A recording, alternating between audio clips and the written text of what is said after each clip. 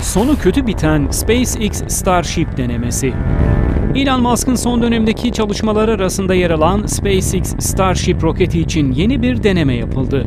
2020 yılından sonra Falcon 9'da Falcon Heavy roketler ve Dragon kapsülünün yerini alacak olan roket, insanoğlunun uzaydaki geleceği adına büyük önem arz ediyor. Dünyanın en güçlüsü olacak roket son test prototipi SN8'de kalkış testine alınmış Starship ile ulaşılan en yüksek noktaya çıkmıştı. SpaceX Starship inişi de hiç beklendiği gibi tamamlayamadı.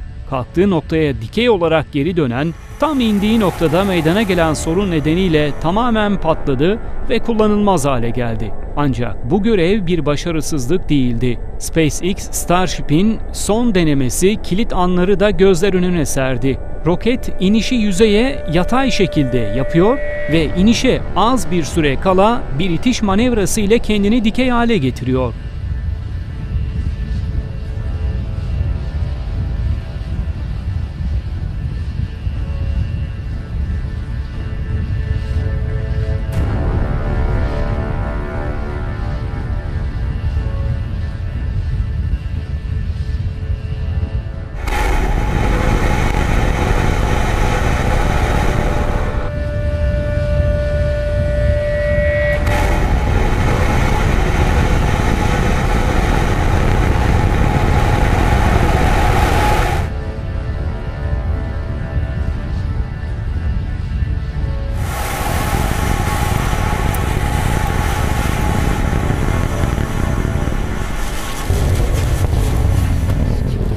Maalesef bu iniş kötü sonuçlandı. Ancak firma yeni denemelere SN9 roketi ile devam edeceklerini aktardı.